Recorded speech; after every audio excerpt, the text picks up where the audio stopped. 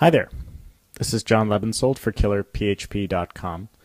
And this is the, I think we're the sixth video. I think we're the sixth or the seventh video in this series. Seventh video in this series. And we're going to be talking about uh, time zones and intervals between dates. And we're going to be building on an existing example, which I've got here, of a post and a author table Basically, I've got a one-to-many relationship between the authors and the posts. So one author, many postings. But we're going to modify our schema in this particular tutorial to look at how we can essentially work with dates and use the date functionality inside of MySQL to add delays or expiration dates for the publishing of content. This is similar to how the very popular blogging platform WordPress does it, where you want to have something like a blog post that is future posted or is posted, you know, a week from now or an hour from now or a day from now or what have you.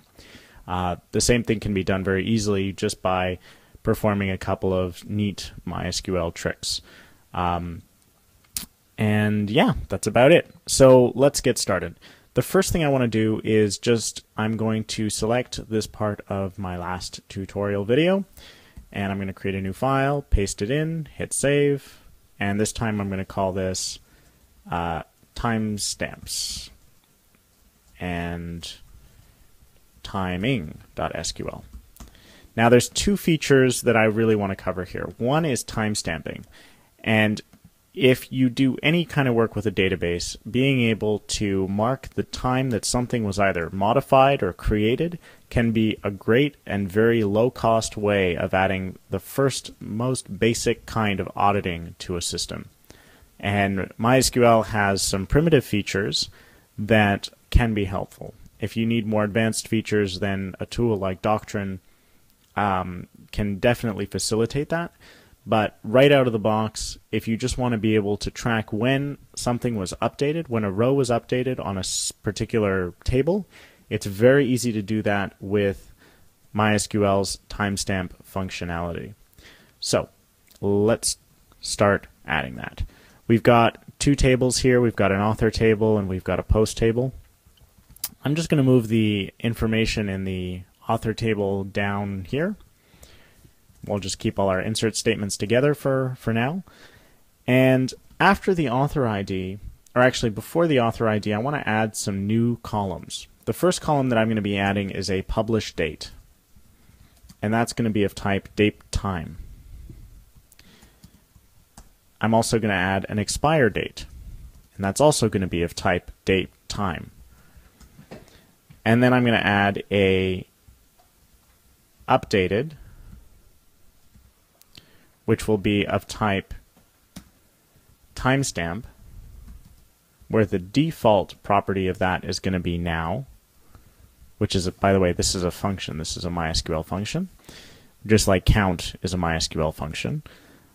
And on update, it's also going to be now. And then we'll just add another comma. So what this actually means, practically, is that when we first create a record, the updated timestamp is going to show now. And then once it's updated on update, just like when here we have on delete no action, here we're saying on update, we want to update it to now. And now being the relative time that the database performed the update.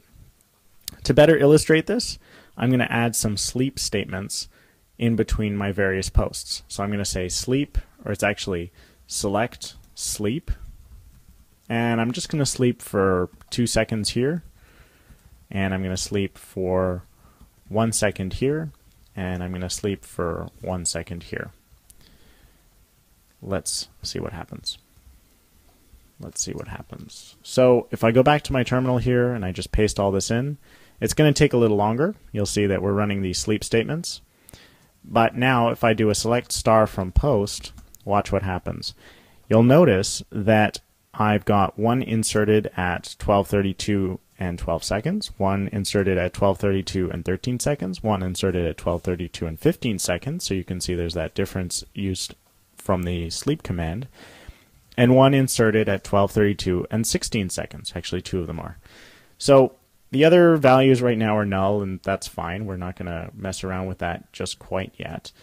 Um, however, you can see that uh, basically we've got these timestamps and we had to do very little work to get them.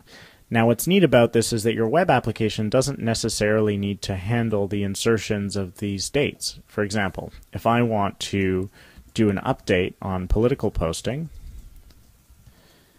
and oops, sorry, if I want to update post set title equals political posting, and I'm just going to uppercase it, not tile, but title. And it's going to be where ID equals 1. If I do another select statement here, you can see now that political posting has now been updated to 1230 So by very quickly just you know doing this one update, I'm also going to inadvertently. It's like a trigger on a gun. So you know, you do one thing and then another thing fires, or a, a tripwire or something like that. So as soon as you update a record, then immediately the updated column is also going to be updated. So it makes for auditing very, very easy and very effective. Um, you know, on our authors table, if we wanted to extend this example a little bit, I could add the same sort of column right here. Whoops, I don't want to do tabs because when I paste it'll act funny. So select all this, paste it back in. Now if I do a select star from author, I'm going to have the various you know authors and when they were inserted into the database. Now actually let's just add some sleep statements so again we can see what's really happening.